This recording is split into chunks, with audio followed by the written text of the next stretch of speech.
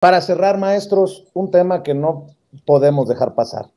Así como en algún momento eh, analizamos, desmenuzamos las acusaciones contra Ili Ortiz, el dueño del, el dueño del periódico El Universal, que surgen de señalamientos de testigos cooperantes en el juicio contra Genaro García Luna. Eh, las acusaciones contra Ili Ortiz son de recibir 25 millones de pesos mensualmente de Genaro García Luna para lavarle la carita. Pues hoy hay señalamientos y hay que decir también que muchos callaron o hasta defendieron al periódico El Universal, o muchos que se hicieron tontos con los señalamientos allá en Nueva York. Hoy hay señalamientos contra el dueño, pero del periódico Reforma. Y yo pregunto, ¿solo seremos los medios independientes como sin censura? ¿Solo serán periodistas independientes como Paco Cruz, como Jaime Hernández, los que hablen de estos temas?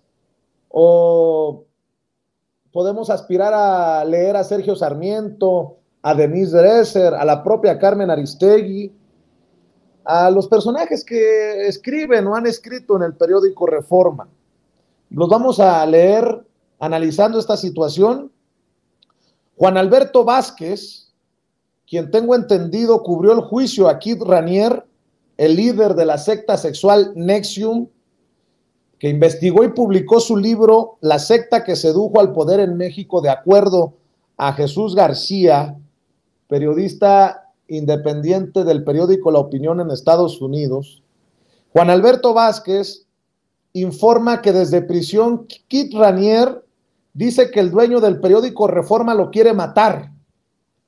En carta escrita de su puño y letra con motivo de una demanda civil que entabló, contra el fiscal Merrick Garland y el exdirector Colette Peters, este célebre reo neoyorquino Kit Alan Ranier acusó, y cito, que un multimillonario magnate de los medios de comunicación en México, a quien conozco bien, cuya hija era líder en mi organización, prometió gastar y hacer lo que fuera necesario para encarcelarme por el resto de mi vida y probablemente matarme.